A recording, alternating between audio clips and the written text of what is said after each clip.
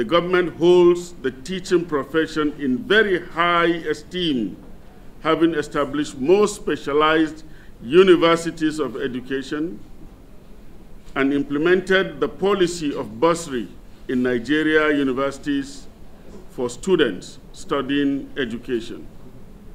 I therefore urge teachers to look beyond current circumstances at home respond to the challenges of adopting contemporary teaching, conducting researches, and embracing technology and digital transformation.